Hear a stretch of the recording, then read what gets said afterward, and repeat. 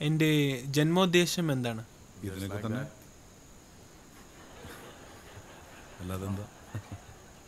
ഒരു പ്രായമെത്തുമ്പോൾ ആളുകൾക്ക് ഇത്തിരി തമാശയൊക്കെ തോന്നിത്തുവാണി എന്നാൽ അവർ സംസാരിച്ചാൽ വികൃതമായി തോന്നും. അതുകൊണ്ട് അവർ പരസ്പരം ഒന്നുമില്ലായ്മ സംസാരിക്കും. ഇതിനെ അവർ മധുരമായ ഒന്നുമില്ലായ്മ എന്ന് വിളിക്കും. അവർ പരസ്പരം ഒന്നുമില്ലായ്മ സംസാരിച്ചുകൊണ്ടിരിക്കും പിന്നെ അവർ എന്തെങ്കിലുമൊക്കെ ചെയ്യും. ഒരുപാട് ഒന്നുമില്ല ഒന്നുമില്ല ഒന്നുമില്ല. പിന്നെ അതാ നിങ്ങൾ ഇവിടെ ഇങ്ങനെയൊക്കെയാണ് ഇത് സംഭവിക്കുന്നത്. അതുപോലെ എന്താണ് എന്റെ ജന്മോദ്ദേശം എന്നാണ് സംശയമെങ്കിൽ?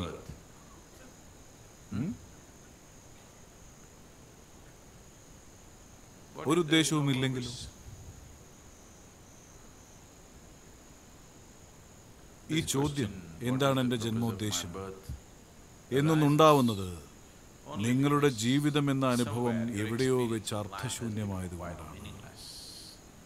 നിങ്ങൾക്ക് ജീവിക്കണമെങ്കിൽ എന്തോ ദൈവകൽപിതമായ ഉദ്ദേശം ഹർഷോന്മാദം കൊണ്ട് നിങ്ങൾ ഉന്മത്തനായിരുന്നെങ്കിൽ ഇത് ചോദിക്കുകയാണ് ഓരോ കോശവും പരമാനന്ദത്താൽ ജ്വലിക്കുകയായിരുന്നെങ്കിൽ ഒരിക്കലും ഇങ്ങനെ ചോദിക്കില്ല. ഞാൻ എന്തിനാണ് ജനിച്ചത്? നിങ്ങൾ ഇവിടെ ഇരിക്കുകയാണ്. ഈ നശിച്ച സത്സംഗത്തിൽ കാലുകൾ മരവിച്ചു പോകുന്നു. ശരീരം ശരീരമാസകരം വേദനിക്കുന്നു. ഇപ്പോൾ ഞാൻ എന്തിനാണ് ജനിച്ചത്?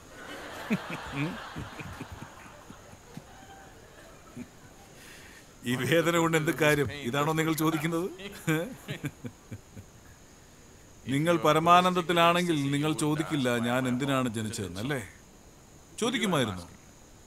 ഇല്ല. അതുകൊണ്ട് ആദ്യം സ്വന്തം ജീവിതാനുഭവങ്ങളെ മാറ്റിയെടുക്കുകയാണ് വേണ്ടത്. You are not blissful what I have to say you will not understand ആന്തരികമായ ആന്തരികമായൊരു ആനന്ദമില്ലെങ്കിൽ ഞാൻ പറയുന്നതൊന്നും നിങ്ങൾക്ക് മനസ്സിലാവില്ല. അത് നിങ്ങൾക്ക് മനസ്സിലാവാത്തതിന് കാരണം നിങ്ങൾ വരുന്നത് ഒരു പ്രത്യേക ജീവിതാനുഭവത്തിൽ നിന്നായതുകൊണ്ടാണ്. എന്നെ കാണുമ്പോൾ താൻ തോന്നിയും വലിയ ദാഷ്ട്യക്കാരനുമായിട്ട് തോന്നാം. സത്യത്തിൽ ഞാൻ അതല്ല. എന്നാൽ അങ്ങനെ തോന്നും. കാരണം ജീവിതത്തിന്റെ ഉന്മാദജനകമായ അനുഭവങ്ങളിലൂടെയാണ് ഞാൻ വരുന്നത്. ഇവിടെ ചടഞ്ഞിരുന്ന് നിങ്ങൾക്ക് മുഷിയുന്നു കാലുകൾ നോവുന്നു. ഞാൻ എന്തിനു ജനിച്ചു? ഇത് നിങ്ങൾക്ക് വലിയൊരു ചോദ്യം തന്നെയാണ്. പക്ഷെ എനിക്ക് അതൊരു തമാശ മാത്രം. ആദ്യം തന്നെ ജീവിതാനുഭവങ്ങളെ ഒന്ന് മാറ്റിയെടുക്കാൻ എന്നിട്ട് ചോദ്യത്തിനുള്ള ഉത്തരം. കാരണം നിലവിലുള്ള ജീവിതാവസ്ഥയിൽ ഉത്തരം തേടിയാൽ മൊത്തത്തിൽ തെറ്റായ നിഗമനങ്ങളിലാവും നിങ്ങൾ ചെന്ന് ചാടുന്നത്. അതുകൊണ്ട് കാലുകളിലെ വേദനയും വെച്ച് എന്തിനാ ഞാനിങ്ങനെ ജനിച്ചതെന്ന് ചോദിച്ചാൽ വേണമെങ്കിൽ ഒറ്റയടിക്ക് അതിനുള്ള ഉത്തരം ഞാൻ പറയാം. അങ്ങനെ പറഞ്ഞാൽ നിങ്ങളെപ്പോലെ മനസ്സുമെടുത്ത കുറെ പാവങ്ങളെ എനിക്ക് ചുറ്റിലും നിരത്താം. മിക്ക ആധ്യാത്മിക സംഘങ്ങളിലും കാണുന്നത് പോലെ. എന്നിട്ട് ദൈവം നിങ്ങളെ പരീക്ഷിക്കുകയാണ്.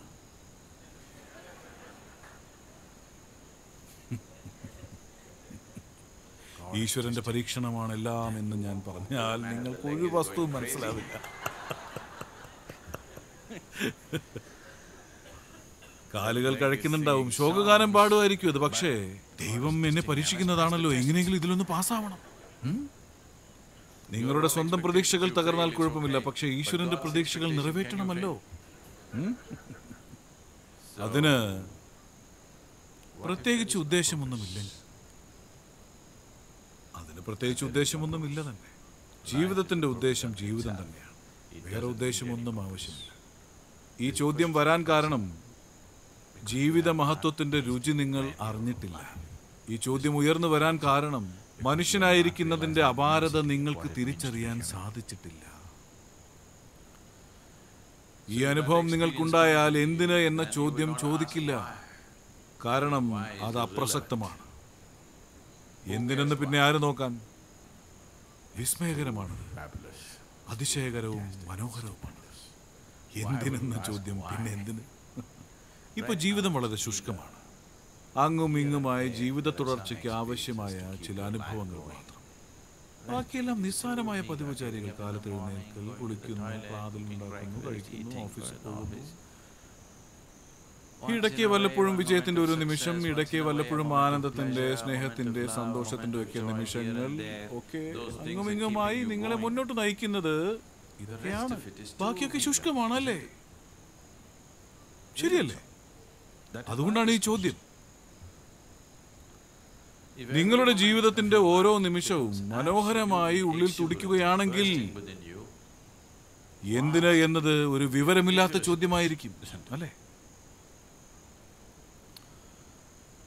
അതുകൊണ്ട് നമുക്ക് നിങ്ങളുടെ ജീവിതത്തിൽ വേണമെങ്കിൽ ഇത്തിരി ആവേശമൊക്കെ നിറയ്ക്കാം. എല്ലാം ദൈവ പരീക്ഷണമാണ് ദൈവ ചുംബനമാണ്? അങ്ങനെ അങ്ങനെ അവർ പലതും പറയും. എന്നാൽ ഞാൻ പറയുന്നു നിങ്ങളുടെ ജീവിതത്തിന് പ്രത്യേകിച്ച് ഉദ്ദേശമൊന്നും. സ്വന്തം നിലനിൽപ്പിന്റെ പ്രസരിപ്പ് തിരിച്ചറിയാൻ ആവുന്നില്ലെങ്കിൽ അതിന് മറ്റെന്തെങ്കിലും ഒരു ഉദ്ദേശം കണ്ടുപിടിക്കാം. ഈ നിലനിൽപ്പിന്റെ പ്രസരിപ്പ് മനസ്സിലാക്കിയാൽ ഈ അസ്തിത്വത്തിന്റെ ചൈതന്യം മനസ്സിലാക്കിയാൽ ഇവിടെ ജീവിക്കുന്നതിന്റെ പരമാനന്ദത്തെ അറിഞ്ഞാൽ ഉദ്ദേശത്തെക്കുറിച്ച് പിന്നെ ആർക്കാണ് താല്പര്യം?